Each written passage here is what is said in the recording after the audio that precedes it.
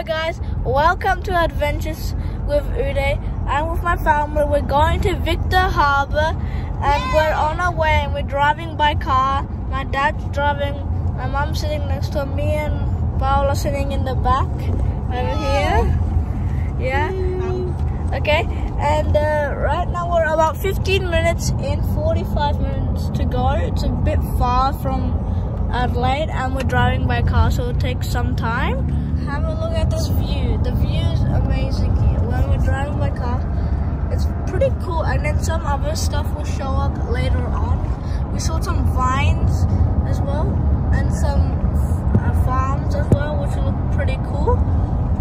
And uh, yeah, we'll definitely see more on the way and we'll see you when we get there. This is a strawberry farm.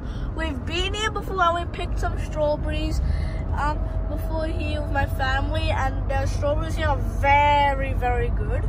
Yeah. My brother loves them so much because it's his favorite fruit. And we'll show more stuff later. Some of the hills, it looks beautiful. The view's amazing. Just like look at this. Imagine if you were so high up and you'd see that. It would just be so beautiful. We reached a uh, Mount Compass right here, and uh, yeah, we're sort of in like a little, like little, it's like a very small town area, but still have a long way to go to get to Victor Harbor. There's some cow, buffaloes and cows on the right hand side. If you see, yeah.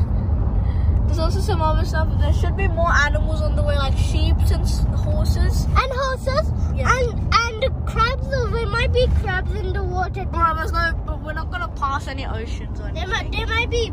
We, we might pa pass any oceans. Uh, look at this tree. It's a weird but cool tree. Blue. Blue tree. And by the way, there's only 21 minutes left until we arrive at Victor Harbor. There's a little town over there as well. And, oh, look, look, look, there's some sheep over there.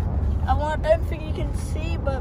No, maybe they're um, goats. maybe there are goats. Yeah, I think there will be goats.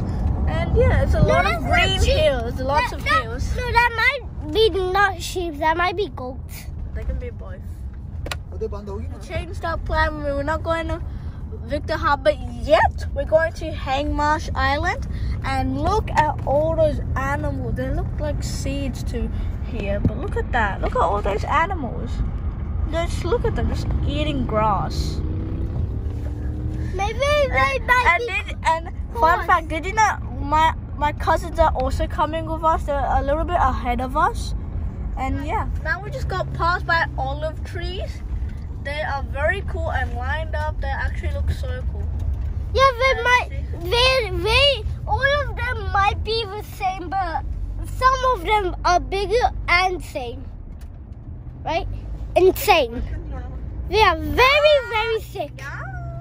Yeah. And look at that tree over there.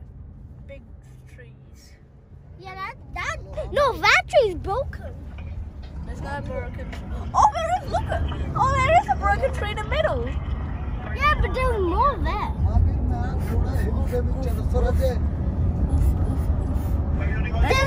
There's. Found some more animals there. Not sure if they're cows. Buffaloes. No, they have to be cows.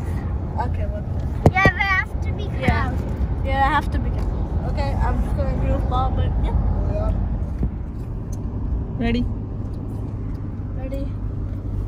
Hi guys, we are back.